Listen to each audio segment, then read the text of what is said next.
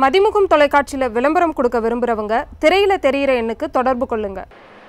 ஊடக நண்பர்களுக்கு வணக்கம். முதல்ல தடுப்பூசி கிட்டத்தட்ட ரெண்டு மூணு நாள் போட முடியாது அப்படின்னு மாநில சுகாதாரத்துறை செயலாளர் சொல்லியிருந்தார்.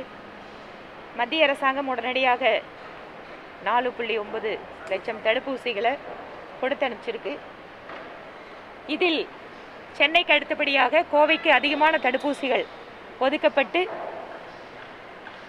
இன்று அதிகமான இடங்களில் கோயம்புத்தூரில் தடுப்பூசிகள் போடப்பட ஆரம்பிச்சிருக்கு.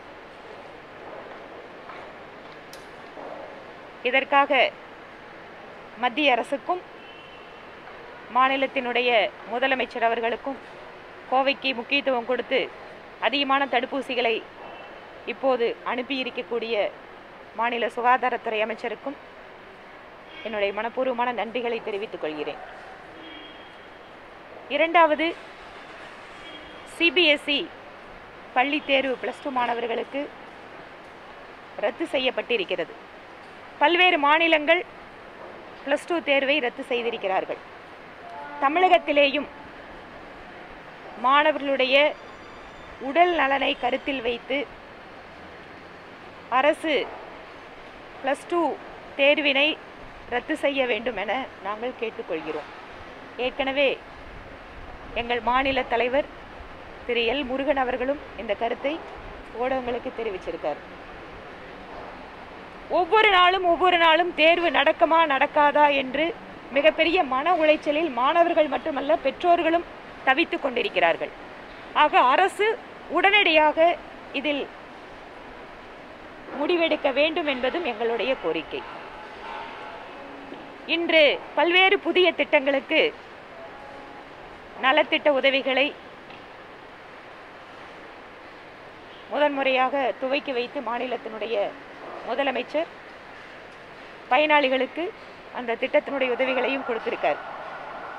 மருத்துவர்கள் பத்திரிகையாளர்கள் சுகாதார பணியாளர்கள் அப்படின்னு யார் யாரெல்லாம் முன்கள பணியாளர்களாக இருக்காங்களோ அவங்களுக்கான இழப்பீட்டுத் தொகையை வழங்குகின்ற நிகழ்வும் நடைபெற்றிருக்கிறது. இதில் எங்களுடைய கோரிக்கை என்னவென்றால் தூய்மை பணியாளர்களும் இதில் இணைக்கப்பட வேண்டும். அரசாங்க மருத்துவமனையில் பணிபுரிகின்ற தூய்மை பணியாளர்களுக்கு மட்டுமல்லாது இன்று இந்த கொரோனாவினுடைய தாக்கம் கிராமப்புறங்களிலும் பரவி இருக்கக்கூடிய காரணத்தினால் ஊராட்சி நகராட்சி பகுதிகளில் தூய்மை பணியாளர்களாக இருக்கின்ற அத்தனை பேரும் இந்த திட்டத்தின் கீழாக கொண்டு வரப்பட வேண்டும். அது மட்டுமல்லாது ஒப்பந்த பணியாளர்களாக தூய்மை பணியாளர்கள் ஆயிரக்கணக்கிலே பணியாற்றி கொண்டிருக்கிறார்கள். அவர்களும் தங்கள் உயிரை பணயம் வைத்து இந்த பணியில் ஈடுபட்டு கொண்டிருக்கக்கூடிய காரணத்தினால் ஒப்பந்த பணியாளர்களாக இருக்கக்கூடிய தூய்மை பணியாளர்களுக்கும் இழப்பீட்டுத் தொகையை மாநில அரசு வழங்க வேண்டும் என்றும் கோரிக்கை வைக்கிறோம். ஆன்டி பிராமின் அப்படிங்கிற ஒரு அடிப்படையில் ஜஸ்டிஸ் பார்ட்டி ஆரம்பித்த காலத்திலிருந்து அது ஒரு அளவீடாகவே சித்தாந்த ரீதியாக எடுத்து செல்லப்பட்டிருக்கூடிய விஷயமா இருக்குது. இன்றைக்கும் பல்வேறு தளங்களில் இது பற்றி அதிகமான விவாத பொருள் வந்திருக்கு. பட்டியலினத்தை சார்ந்தவர்களை ஜாதி ரீதியாக குறிப்பிடுவது சட்டப்படி தவறு அப்படிங்கிறத நம்ம எல்லாரும் வச்சிருக்கோம். சட்டத்தில் இருக்குது எந்த சமுதாயமாக இருந்தாலும் அது பிற்படுத்தப்பட்டவர்களாக இருந்தாலும் மிகவும் பிற்படுத்தப்பட்டவர்களாக இருந்தாலும் முற்படுத்தப்பட்ட சமுதாயமே இருந்தாலும் ஜாதி பெயரை சொல்லி இழிவுபடுத்துவது என்பது கூடாது. அதுல நாங்க உறுதியா இருக்கோம். இப்போ ப்ளஸ் டூ எக்ஸாமே வந்து மாணவர்கள் பாதிக்கப்படுறாங்க ரத்து செய்யறதில்ல அப்போ நீட் தேர்வு வைத்தாலும் மாணவர்கள் பாதிப்பாங்களா? அதெல்லாம் ரத்து செய்ய சொல்லி ஏற்படுத்தும் நீங்க ஒட்டுமொத்தமா ப்ளஸ் டூ எழுதக்கூடிய சிபிஎஸ்இ ஸ்டூடெண்ட்ஸோட நம்பர் என்ன? அவர்களுக்கு இன்றைக்கு இருக்கக்கூடிய சூழல்ல பாதுகாப்பான முறையில தேர்வு நடத்த முடியுமா? பாதிப்பு அதிகமா இருக்கக்கூடிய மாநிலம் நாம. இதனோட நம்பர் எவ்வளவு? இதற்கான ஏற்பாடுகள் எவ்வளவு? இதெல்லாம் ஒட்டுமொத்தமா நாம யோசிச்சு பார்க்கணும். மத்திய அரசு ஏற்கனவே இது தொடர்பாக மாநிலத்தின முதல்வருடைய கடிதத்தை இண்டஸ்ட்ரி மினிஸ்டர் வந்து பார்த்து சொல்லியிருக்காரு. அவர்களும் நாங்கள் பதில் இதுக்கு வந்து கொடுக்குறோம் அப்படின்னு சொல்லியிருக்காங்க. நானும் டெல்லி செல்கிறேன். எங்களுடைய தேசிய தலைவர்களோட கூட்டமெல்லாம் இருக்கு நாளைக்கு நாளான்னைக்கு அப்போது இந்த விஷயத்தில் தமிழகத்துக்கு என்னென்னவெல்லாம் தேவைகள்?